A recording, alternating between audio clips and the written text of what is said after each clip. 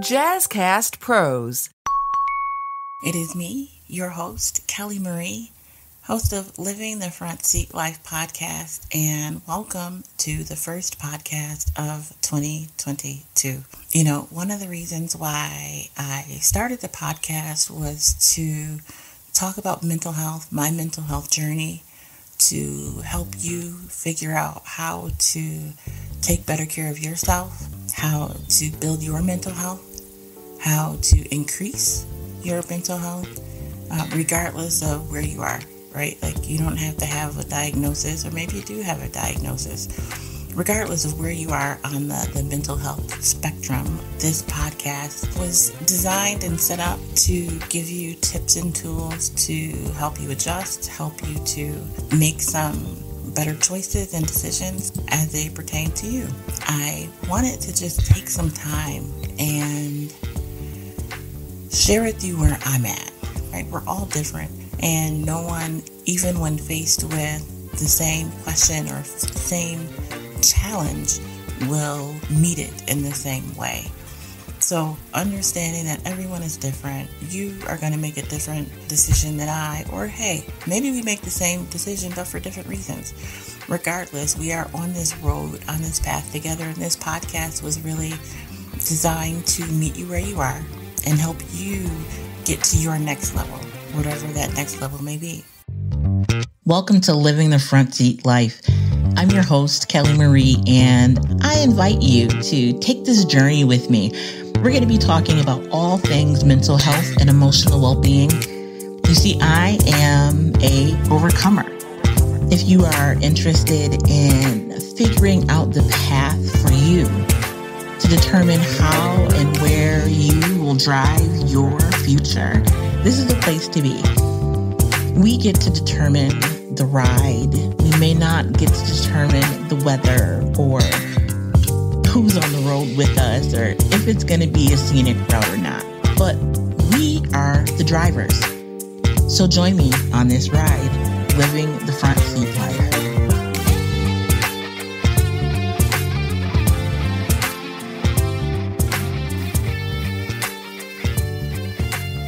Happy New Year. How are you doing today?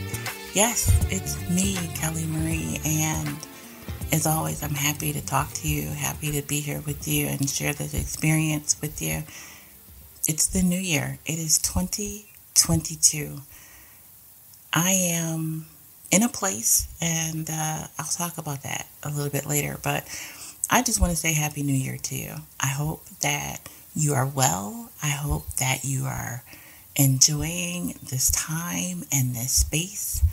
And I hope that you're surrounded by loved ones. Hopefully, I will remember that it is 2022 and not 2021. I don't know about you, but I always go probably about two months of writing the old year on everything um, until it finally clicks. And it's usually, yeah, probably about March that I, I finally get it right. My hope is that this year I am present and aware and in the moment and remember and realize that we are in the year 2022. Today, I thought it was important to come and share with you where I am. It's a little difficult to share right now and and difficult because I'm in a place. So, as you know, I have borderline personality disorder or I live with borderline personality disorder as well as depression and anxiety. And right now, my feelings are really fragile. And I didn't know if I would be able to record today because I've been really weepy for good reason to me, you know, but it's still not a reason to cry all day. When one has a condition such as mine, these things happen. And so I was talking to Jazz, Jazzcast podcasting producer. She's the best you know, she encouraged me to go ahead and record and share where I'm at. And not that I try and, you know, put the best foot forward and fake the funk and pretend like everything is okay. That's definitely not me. But I didn't want to, because I am so weepy today, go back and forth, you know, vacillating between crying and, you know, things being all right because things really are okay. Um, I'm at a good place right now. I just had a little emotional hiccup, and you know, maybe your mentally healthy individual would process it, maybe cry a little bit and keep it moving. It doesn't really work that way for me. And that's okay, right? I know me, I know how I react to situations, I know how to make sure that I don't pull other people into my situations. Um, whew, you don't know, but I just had a whole crying fit. You could probably hear the tears in my voice. Uh, the one side of me is like, there's nothing to cry over. And other me is also saying there's nothing to cry over. Yet the tears remain. And I, I came on and purposely decided to record because I think it's important to see all of the sides of mental health. You know, you get to experience laughter, you know, fun, happy Kelly. You get to experience serious Kelly. Occasionally, you see this side of me. Now, I've posted in the past when I've had anxiety attacks and uh, things like that. But I find that often, even I, as real as I try to remain, I don't share these moments. And so I needed to record and um, get today's show ready for you. But it also coincided with this place that I'm in. If you've been thinking about starting a podcast and you want to include interviews with people across town, Riverside.fm offers unbelievable high quality recordings regardless of your or your guest internet quality. And it also gives you separate audio and video tracks for each person speaking. And unlike Zoom, you don't have to install anything on your computer, and your guests don't either. Head over to riverside.fm and use promo code JazzyCast to get 60 free minutes of recording and 15% off a membership plan.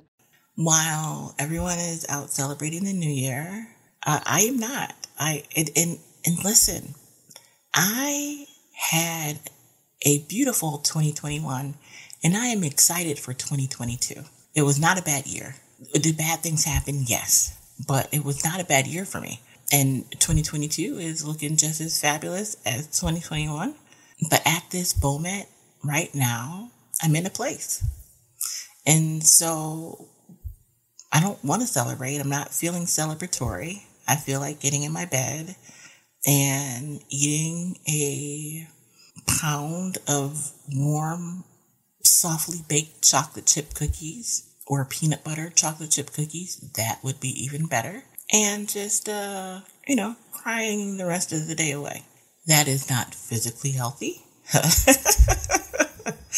and it's not mentally healthy either. So you're getting real me.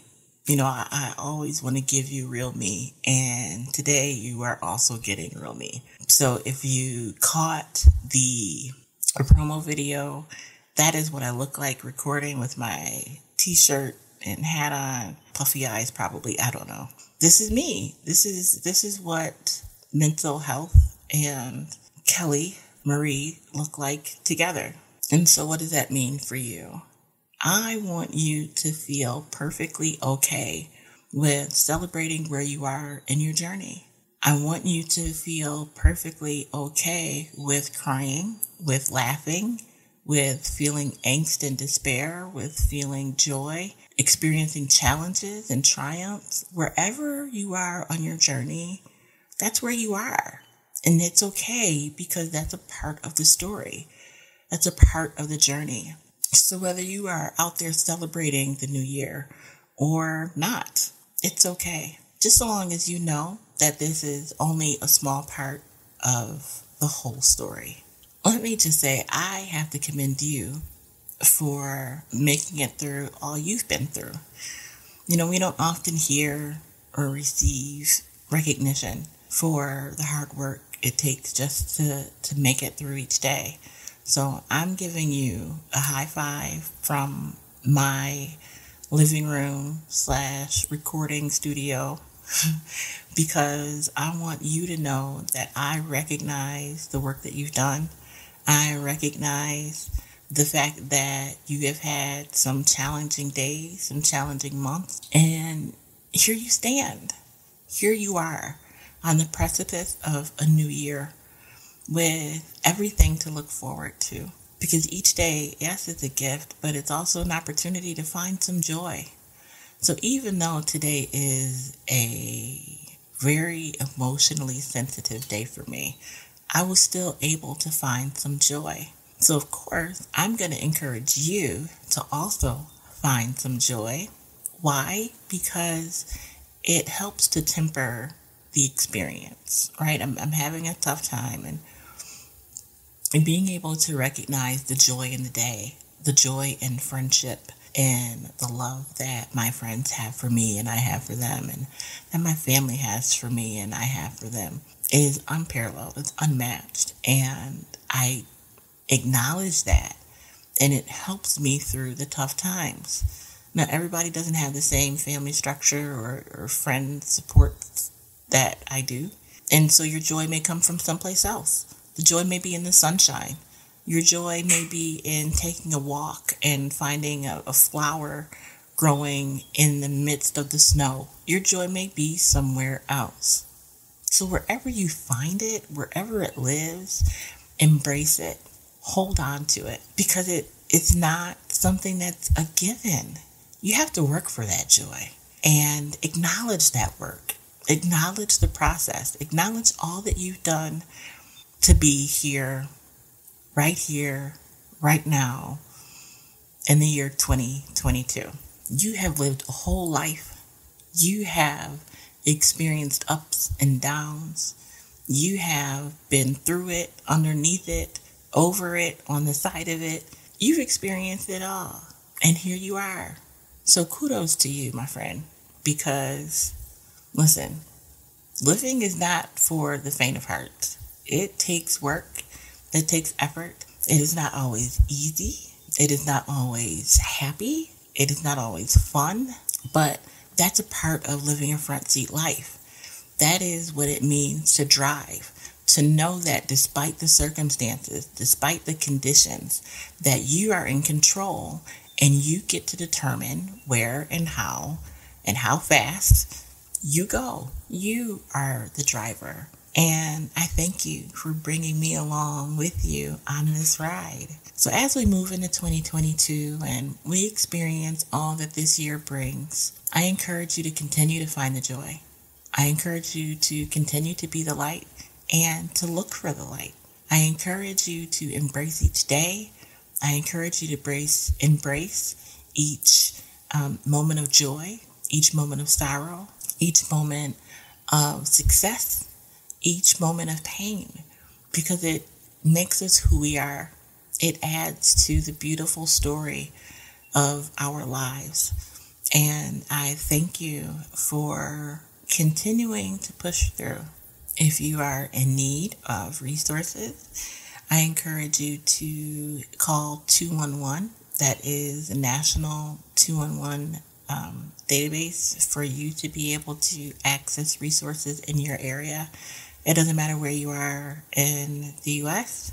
If you dial 211 on your phone or go to 211 in your browser, it will lead you to the 211 website or the folks that answer the phone. And you can do a keyword search or zip code search for resources in your area. If you are experiencing a crisis and you need someone to talk to, I encourage you to call the Suicide Prevention Helpline you don't have to be in a place of suicidal ideation to call the helpline. They're there for everyone. And that number is 1 800 273 8255. Or you can text the word GO, G O, to the number 741 741 to reach a trained crisis counselor on the text line. Both are available 24 hours a day, 7 days a week, free and confidential. So until the next time, be the light,